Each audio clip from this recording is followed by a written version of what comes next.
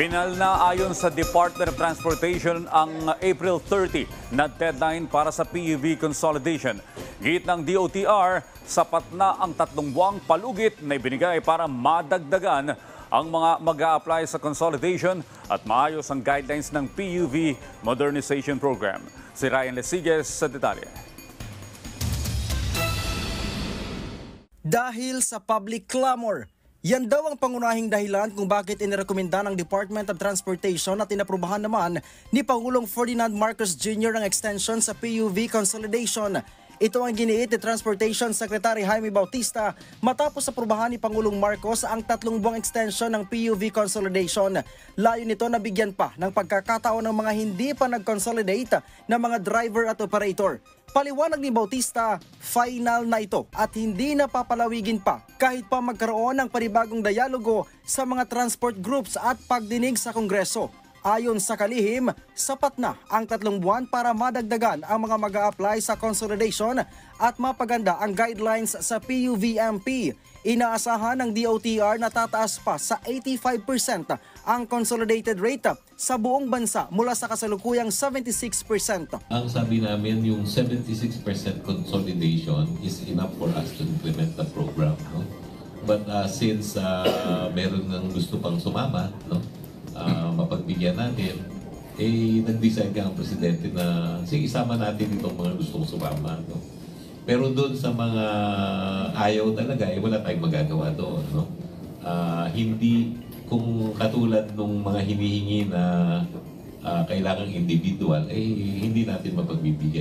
Samantala, sinabi naman ni Land Transportation Franchising Regulatory Board, National Capital Region Director Attorney Zona Rosetta Tamayo, na tiwala siyang marami pang maghahain ng aplikasyon para sa consolidation dahil ngayong Enero pa lang ay marami nang lumapit sa kanila.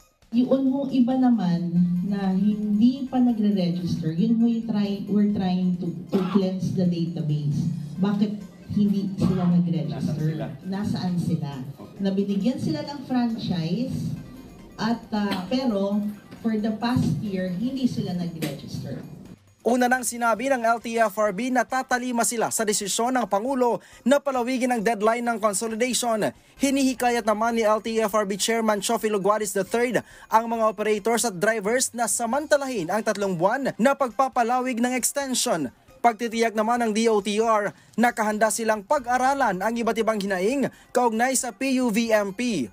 On the part of the government, kami dito sa DOTR, ituloy po namin yung pag-explain, pagsasabi, para po mas magiging buo ang kanilang loob sa desisyon na sumama sa programa. So we will take advantage of this three months para po yung 76 ay mapalaki pa natin at maparami pa po natin ang kasama sa programa.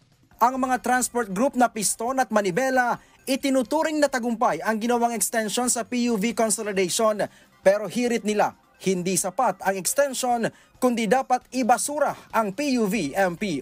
Yung mga gustong mag-consolidate, nag-consolidate, gusto pong mag-modernize, hindi natin pipigilan sino tayo para pigilan sila.